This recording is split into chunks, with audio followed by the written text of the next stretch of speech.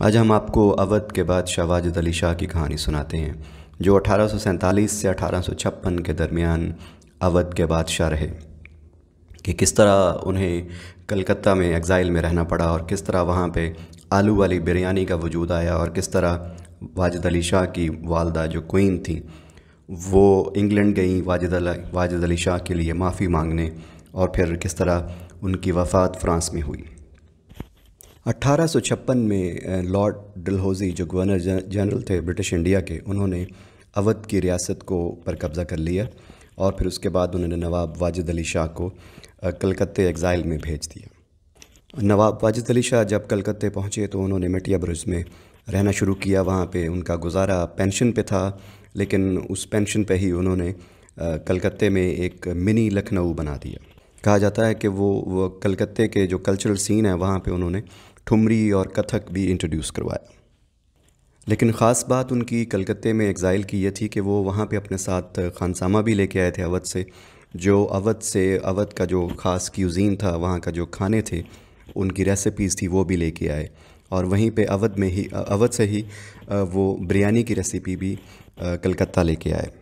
लेकिन कलकत्ता में कहते हैं कि चूँकि मीट की अवेलेबिलिटी इतनी नहीं थी तो उन्होंने वहाँ पे आलू वाली बिरयानी और फिर बाद में मीट और आलू वाली बिरयानी की रेसिपी इंट्रोड्यूस करवाई, जिसे बाद में कलकत्ता बिरयानी के नाम से जाना गया। दूसरी तरफ़, नवाब वाजिद अली शाह की वालदा, जिन्हें क्वीन के नाम से और मलिका किश्वर या फिर जनाब आलिया के नाम से जाना जाता है, उनकी कहानी भी बड़ी इंटरेस्टिंग है।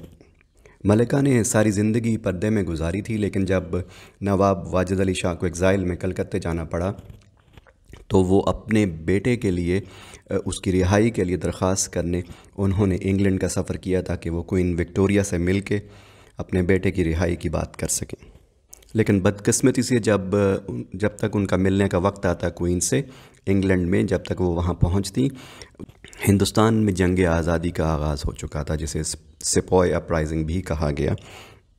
और इस जंग आज़ादी में उनके बेटे को गद्दार करार दिया गया और फिर मलिका को को वापस इंडिया आने के लिए उनको पासपोर्ट नहीं दिया गया, जिसकी वजह से वो वहीं पे स्टक होकर रह गई। तो फिर मलिका ने कोशिश की कि वो इंग्लैंड से लंदन से वहाँ से फ़्रांस के रास्ते मक्का चली जाएँ ताकि वहाँ पे हज परफॉर्म करें। तो वो फ़्रांस में थी वो वहाँ पे स्टैंडर्ड हो गई। फिर वहीं पे होटल रू लफेट में उनका उन, उनका इंतकाल हो गया।